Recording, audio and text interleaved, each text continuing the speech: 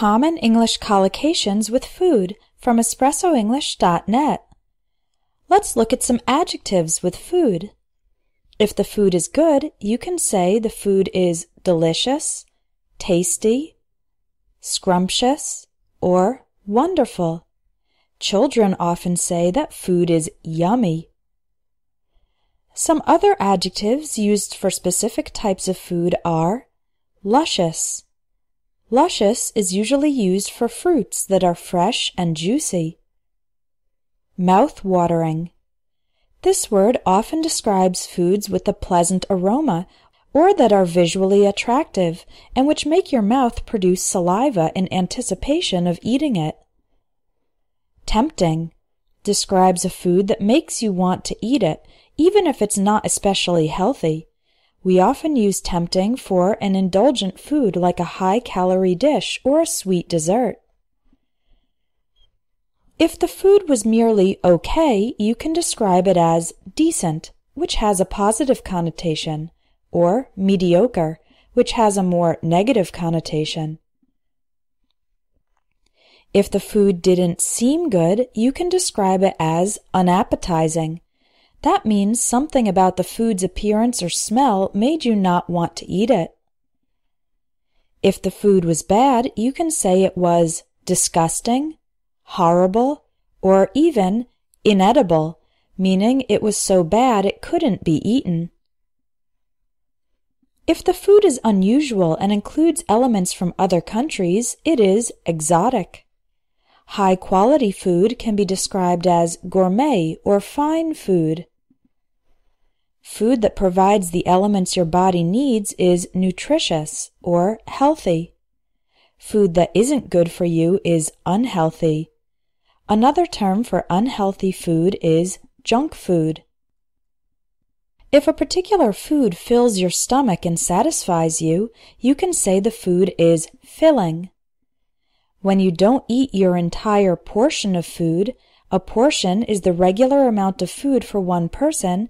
You have leftover food, or simply leftovers, which you can eat later or on the next day. If food is fresh, it means it's new and good to eat. Many supermarkets have a section for frozen food, which is stored in the freezer at very low temperatures so that it stays good for a longer time. If a food is past its expiration date and is no longer safe to eat, it smells or tastes strange, then the food has gone bad. You can also say it's spoiled. When food is very old and starts decomposing, it is rotten. Food that stays good for a long time is non-perishable, such as rice, beans, sugar, etc and food that has the potential to go bad quickly is perishable, such as fruit, meat, etc. Organic food is grown in a natural way without using dangerous chemicals. There's also processed food, which has gone through a lot of changes in factories. Perhaps the best kind of food is homemade.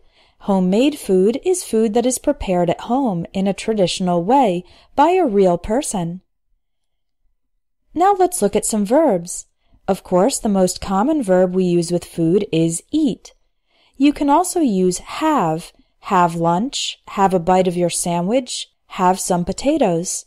And a more formal word is consume. When you eat, you first take a bite of your food. That means cut it with your teeth. Then you chew your food, crush it with your teeth, and swallow, Make the food go down your throat into your stomach. Then your stomach and intestines will digest your food.